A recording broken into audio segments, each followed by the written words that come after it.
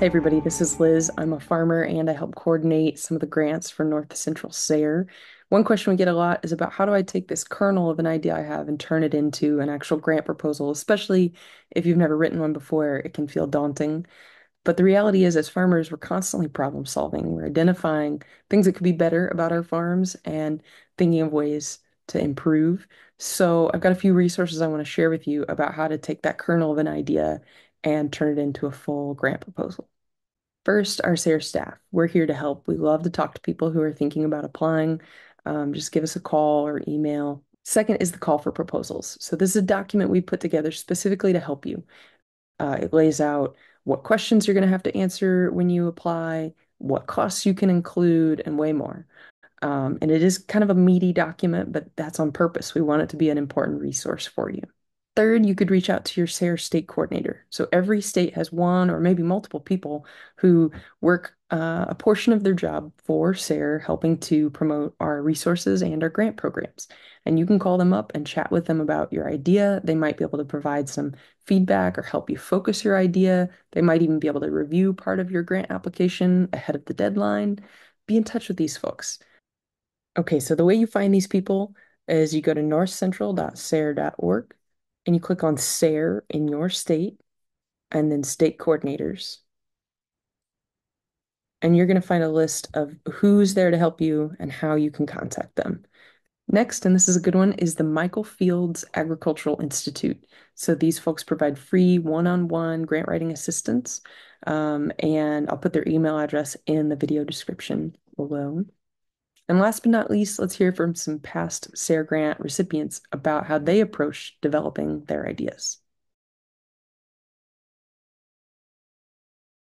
I'm a entomologist that, and I work at Ecdysis Foundation, located at Blue Dasher Farm. We're out here in rural South Dakota by Estelline.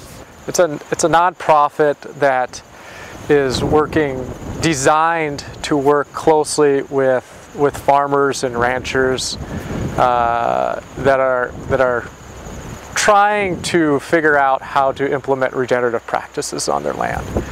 Uh, so this is a roller crimper that we built uh, with funding from SARE and this is designed to terminate cover crops uh, if they're at the correct stage. This, this piece of machine uh, the idea came because we had a lot of farmers in the area that were interested in, in using a roller crimper to control their cover crops in the springtime before they put in their cash crops.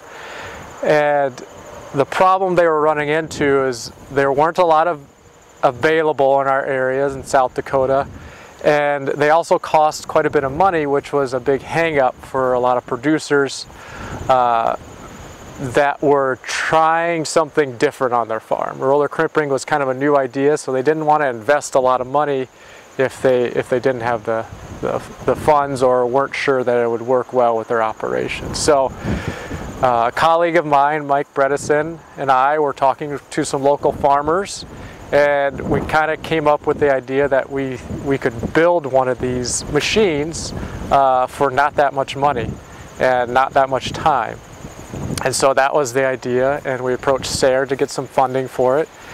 And, uh, and the project took off from there. And this machine is built from mostly scrap parts, and that was the whole idea to, to, for cost savings from this. So hopefully, uh, uh, the next phase of this project is to release videos of our build as well as blueprints to the public uh, so that people don't have to spend so much time trying to figure out how to fit all the pieces together.